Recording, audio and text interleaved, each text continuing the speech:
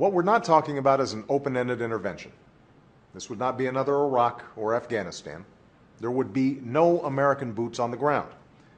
Any action we take would be limited, both in time and scope, designed to deter the Syrian government from gassing its own people again and degrade its ability to do so.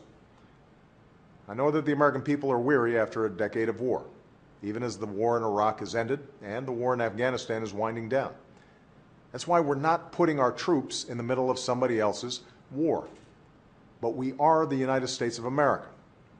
We cannot turn a blind eye to images like the ones we've seen out of Syria.